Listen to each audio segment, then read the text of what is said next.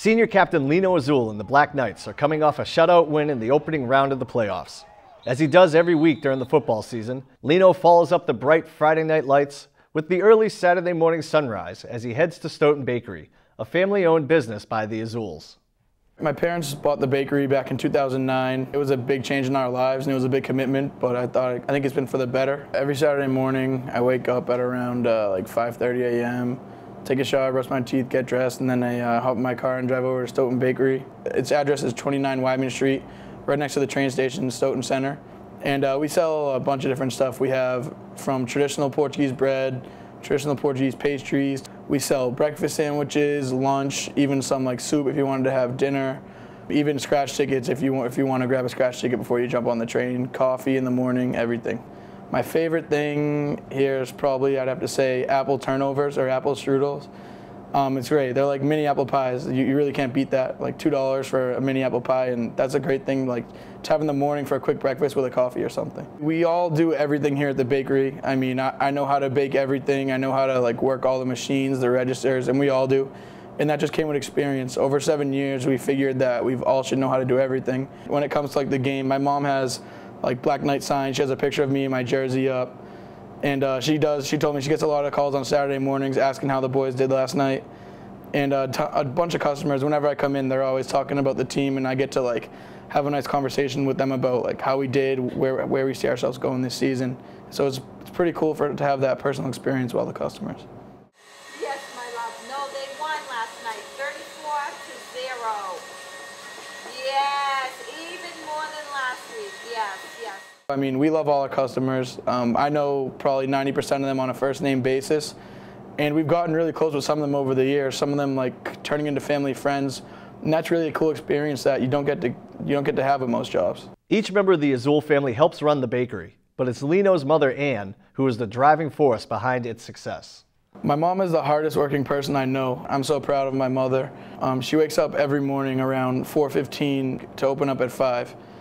And she does this six days a week. Her specifically brought this place up. It used to be just an old place that, old, that just sold bread. And we've kind of Americanized it a little bit. And the things that she's done with it is honestly a wonder to me. Um, with all the new products she brought in, all the decorations like around the holidays, and all the new faces she's brought in. And uh, the thing I admire the most about her is that she creates a personal connection with all of her customers. She knows everyone by first name. Everyone that come in, everyone that comes in here lo loves her, and everyone around the town has nothing but good things to say about her. The best thing that I take away personally, and I think my family values values the same thing very much, is uh, the bakery has really brought us closer together as a family.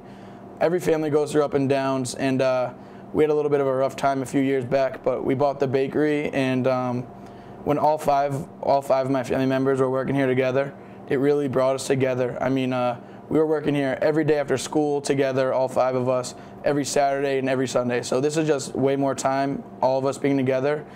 And um, I think we really got to know each other better, and we started to like grow, like grow more together as a family. And I, now I think that we're a really tight knit group, and that we really love each other, and we love spending time with each other.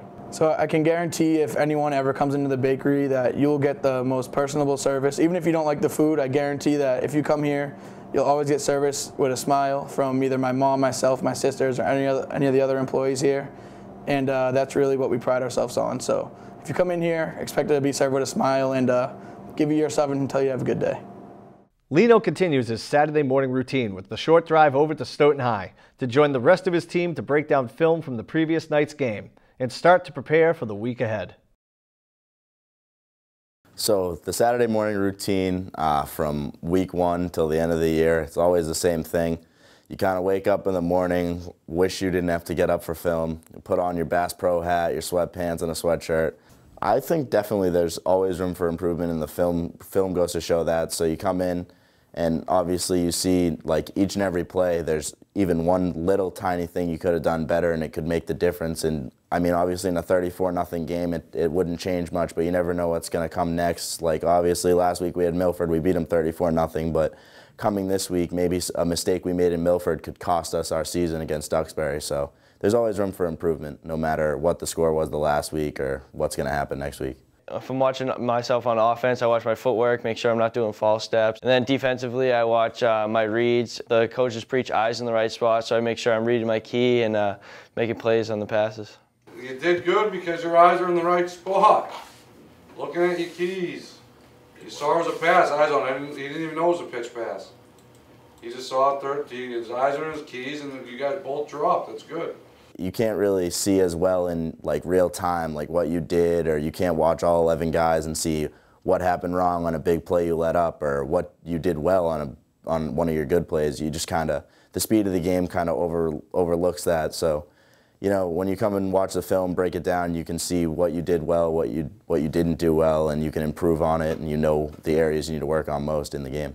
Just having the mindset of just critiquing yourself, but then also you have to watch the opponent, seeing their tendencies, seeing what they like to do, what they set up in, so you can make your calls against that during the games on Friday night. Football is basically a chess match with uh, helmets and shoulder pads on. It's such a mental game. You got to go know exactly where you're being. I don't care if you're the best athlete in the world. If you don't know what you're doing, you can't play.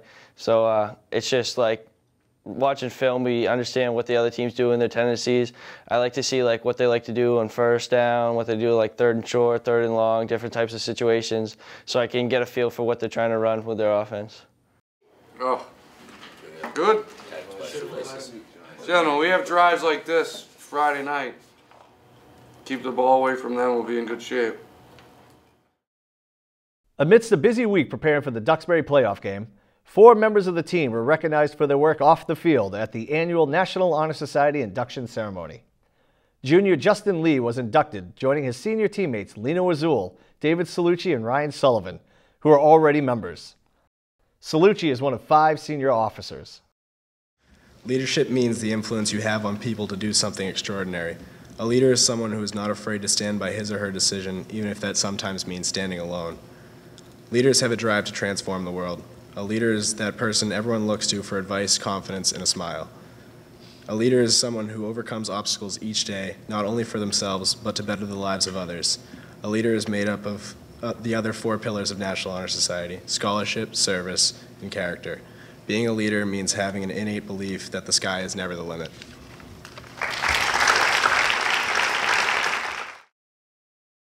Game day is almost here.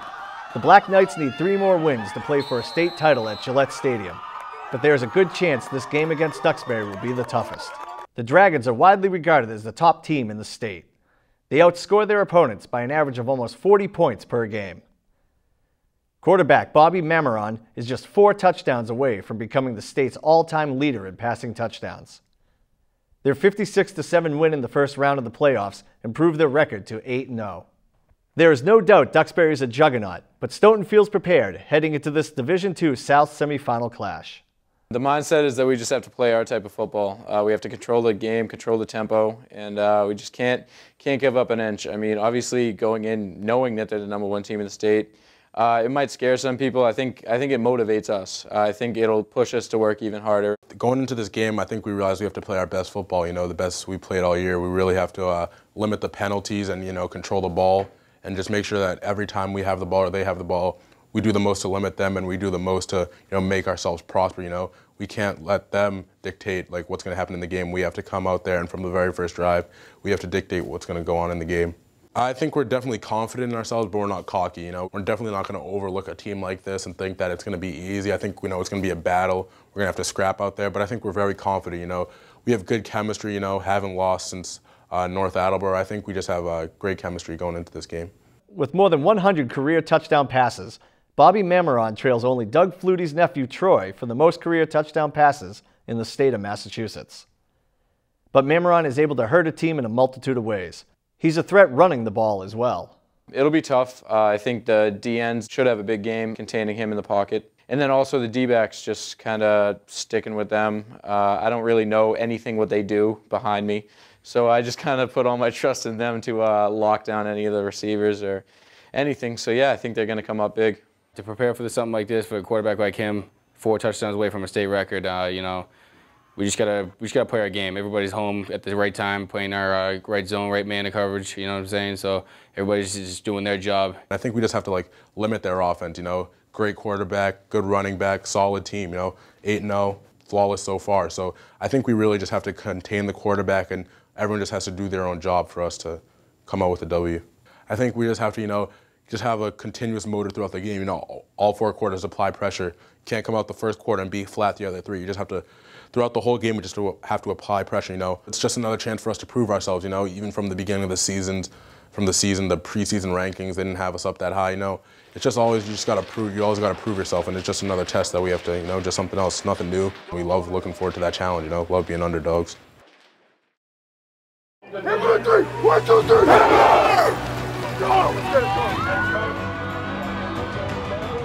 Stoughton showed it could compete with Duxbury from the opening kickoff of the game. Marcellus Cox had a 30-yard return to give the Black Knights the ball at their own 43-yard line. Ball returned by number 13. Two plays later, eyes on Swain Price broke a 57-yard run up the Duxbury sideline to give Stoughton the early lead.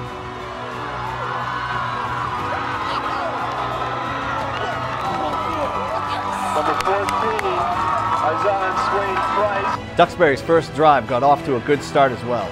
The Dragons advanced the ball all the way to the Stoughton 17-yard line. But then Ryan Sullivan picked off Mameron, keeping Stoughton's early momentum going. This was Mameron's first interception of the season.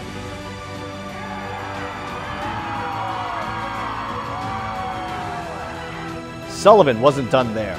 On the third play of the ensuing drive, the offensive line opened a huge hole and he went virtually untouched for 47 yards into the end zone. Sullivan also played a part in the two-point conversion. After evading tacklers, Evan Gibb found Sullivan, whose outstretched arms gave the Black Knights a 14 0 lead just four minutes into the game. If Duxbury didn't know they were in for a fight against Stoughton going into the game, they certainly know now. Duxbury's offense was on the move again when they got the ball back. Stoughton's defense tightened up, forcing a fourth down at the 31-yard line. But then, Mameron showed he's as good as advertised. Just when it seemed like Stoughton would bring him down, he split defenders and fired a 31-yard touchdown pass to put Duxbury on the board. Stoughton then went three and out and gave Duxbury great field position, something the Black Knights knew could prove costly. On the first play of the second quarter, Mameron made Stoughton pay with a 15-yard touchdown pass on third down. Suddenly, Stoughton's early lead was down to just one point. But the Black Knights remained composed and didn't let the game get away from them. They strung together three first downs, moving into Duxbury territory.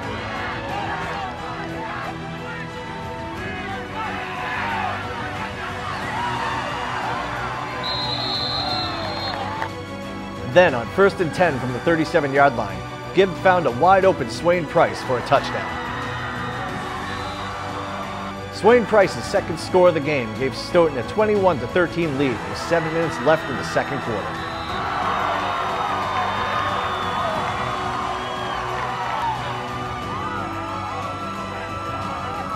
Both teams then traded punts as the defenses finally settled in.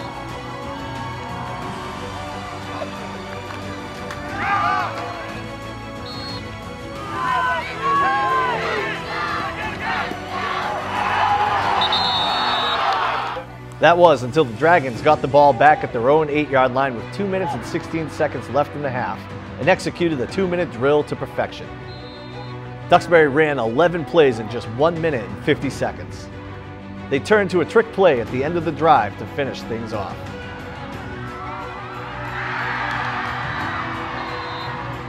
The deception continued on the two-point conversion.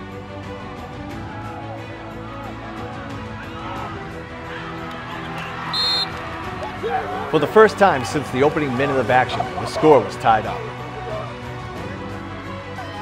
Duxbury started the second half with two lengthy drives, but came up empty on both. On the first drive, they missed a field goal. On the second drive, Andrew Iverson tracked Mameron down on a fourth and six to force a turnover on downs. Thanks to Stoughton's defense, the game remained tied at 21 heading into the fourth quarter. After another Stoughton punt, Duxbury got the ball back. It was more the same for the Dragons. moving closer and closer to the goal line, while Stoughton's defense was doing everything it could to keep this high-powered offense from taking the lead. Once again, Duxbury faced a fourth down, this time from the five-yard line with six and a half minutes left in the game.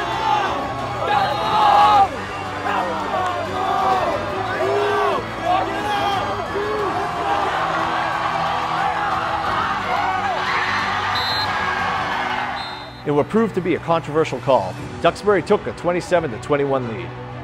On slow motion replay, the ball appears to hit the turf as the receiver comes down. But there are no challenges in high school football, so the touchdown stood and the lead became 29-21 after the two-point conversion was successful.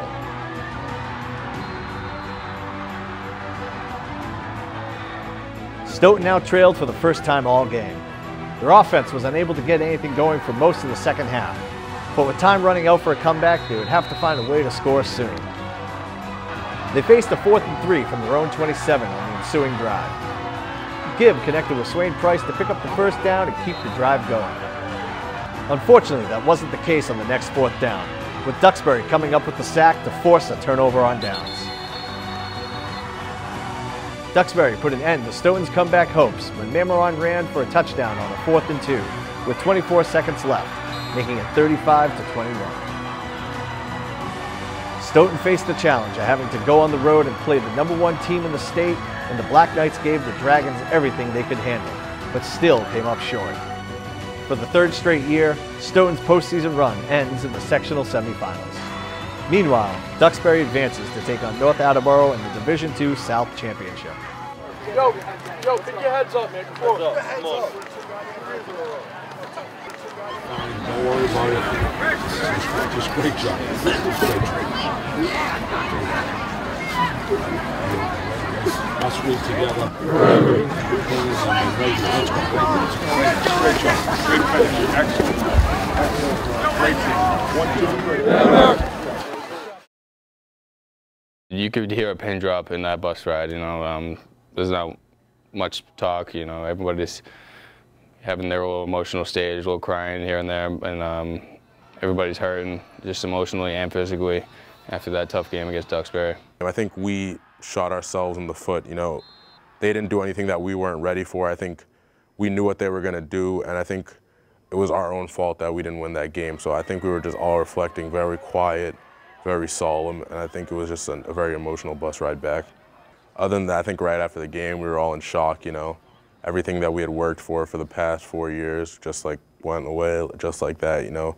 But I definitely think it was a pride, it, it, it did help our pride a little bit to know that we weren't even supposed to compete with this team, you know. Like we weren't supposed to be in it at all. And the fact that we showed them a real test that they hadn't really seen all year, I think that just speaks volumes to like the coaching and like the work ethic we have. I don't want to take too much out of it, but it's definitely a lot easier to say, oh, we lost to the number one team in the state rankings-wise, than to say, oh, we lost to some like random team. I mean, we definitely want to look at it and take the positives out of it, but I mean, a loss is a loss.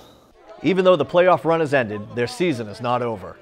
Of course, there's the annual Thanksgiving game, but before that, Stoughton will host Dartmouth in a consolation game. Turning the page was really important. Um, I mean, we, we've seen the past couple of years the Stoughton teams have like taken that next week off. You see, like you could see, we can either sit down and crumble, or we can we can rise up and try to win our next game. And I mean, every game means something. You only have so many in your senior football season, so. North Attleboro beat Dartmouth in the other Division II South semifinal, leaving Stoughton with a matchup against second-seeded Dartmouth in a consolation game. Since this game has no bearing on the playoffs, it basically comes down to playing for pride, something the Stoughton players don't take lightly. On this cold November night, Stoughton's defense was a story in the early going.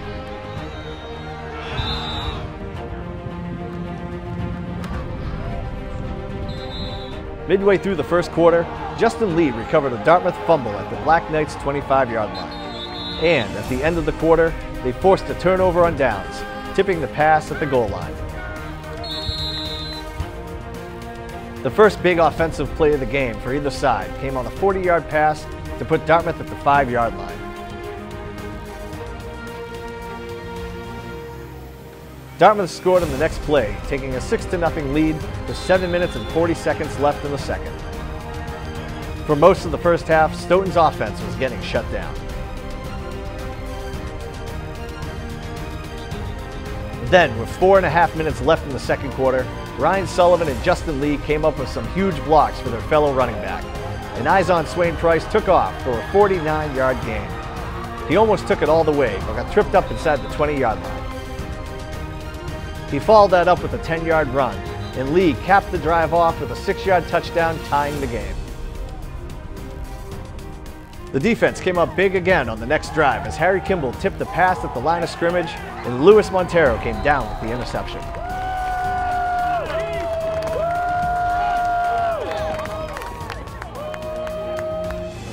Facing a third and five on offense, Gibb took off to run and got the first down, but more importantly was injured on the play. The injuries are really starting to add up for the Black Knights as their quarterback joins the growing group of starters stuck on the sidelines. The Black Knights went into the half tied at six and came out with junior Johnny Medina filling in at quarterback for the rest of the game. Stoughton was able to move the ball in the third quarter, starting off with an 11-play drive, but they were unable to turn that into any points. Stoughton's defense stayed strong though, not letting Dartmouth get anything going offensively.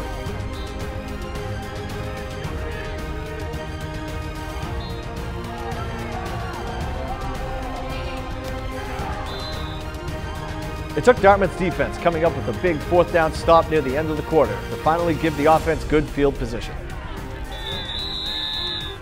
The score remained tied at six heading into the fourth, but Dartmouth was driving.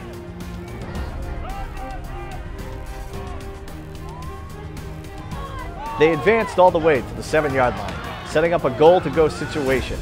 But on second down, Justin Lee came up with a sack, making it third and 17.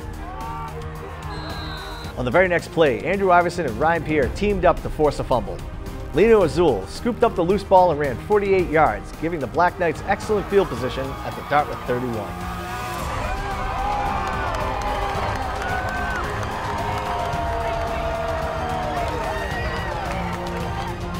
Two plays later, Sullivan ran for a 25-yard touchdown to give Stoughton a 12-6 lead, with 7 minutes and 50 seconds left in the fourth.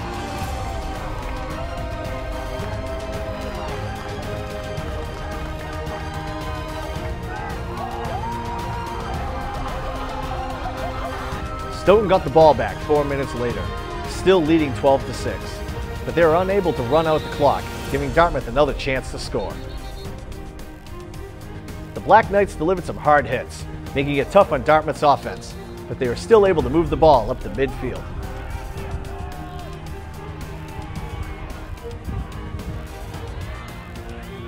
On a third and two from the Stoughton 47, Luis Montero made another big play, wrapping up the ball carrier in the backfield, setting up a fourth and three with two minutes and 24 seconds left. Stoughton was literally inches away from all but sealing the victory, as Harry Kimball nearly blocked another pass. But the throw was completed for a first down, and Dartmouth kept the drive alive. Dartmouth later tied it up at 12 with 1 minute and 10 seconds left. Now the game was in Dartmouth's hands, or feet, as an extra point would give them the lead.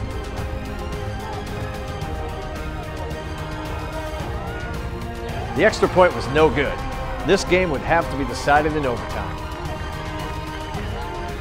On their first possession in overtime, Dartmouth scored on third down and hit the extra point, going up 19 to 12. Now Stoughton had to score a touchdown to keep the game going. The Black Knights faced a third down of their own, and Ryan Sullivan came through with a six-yard touchdown run, making it 19 to 18. Stoughton took a timeout, and after a long discussion, Coach Burke decided to leave the fate of this game to the offense. Instead of trying to tie it up by attempting an extra point, Stoughton was going for two. The game would end on this play. If the Black Knights make the two-point conversion, they win.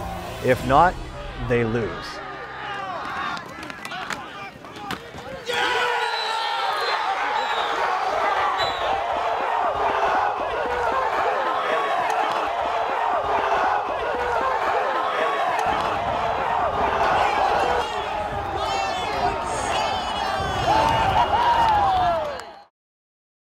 So in overtime, after I scored the touchdown, we called timeout, and Burke made the decision to go for two. He likes to just go uh, win or lose right then and there, no stick around. So he made the decision to go for two, and then Carew was sitting there, and Lino was the one who was saying, "Go for two, go, uh, um, go for the same play that we just scored on, same play." And um, then Carew was like, "All right, I'm going to go with the seniors."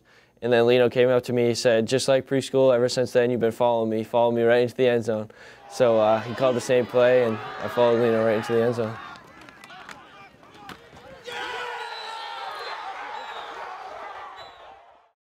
Ten games down, one to go. Thanksgiving Day for the last ever game at Sarno Field. We talk about it all the time. Coach Burke talks about it all the time. It's just we just it's that little bit extra that we that we think about um, during practice and when it gets tough that we just need to work hard so this field can get sent off the way that it should.